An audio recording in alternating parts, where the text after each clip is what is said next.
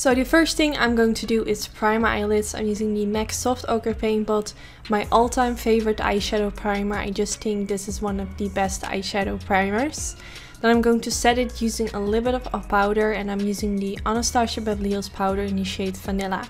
Then I'm going to use the shade Cake Face from the Life's a Drag palette by Lunar Beauty. And I'm going to use this to highlight my brow bone. The brush that I'm using is a MAC 242, which is a very nice flat shader brush.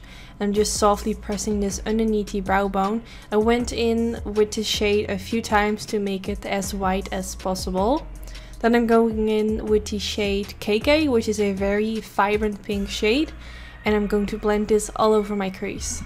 And the brush I'm using for this is the Sigma E40, which is included in my collaboration brush kit with Sigma Beauty.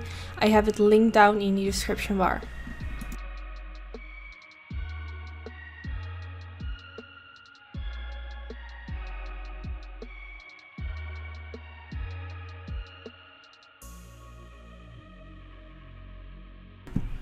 Then the next shade I'm going in with is called Snatched and I'm taking a Morphe M506 brush which is a very tiny blending brush and I'm going to blend this in my inner corner area and in my outer V area and also in my crease to create that dark halo effect.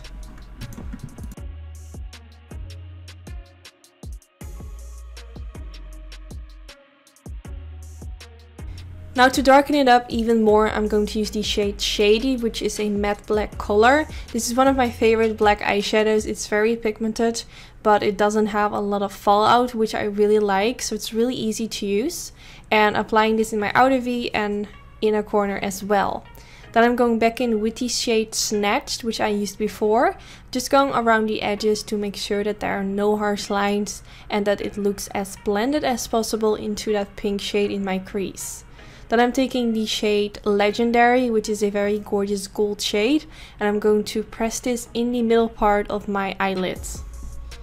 You know when you create a halo eye look you want a very light shade in the middle part of your eyelid which creates that halo eye look. I know this isn't a very light shade but it will give me that pop of halo if that makes sense. Now I'm taking this purple shade and I'm going to blend it around the edges um, to make sure that it blends into the matte shades that are next to that legendary eyeshadow. Like normally I would probably go for a reddish or pink shade to do this, but I felt like why not use a purple and give it a different twist.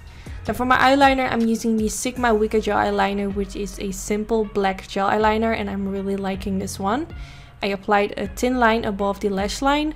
Then I'm going back in with the black eyeshadow and my Sigma flat definer brush which comes in my brush kit with Sigma as well and pressing this right underneath the lower lash line.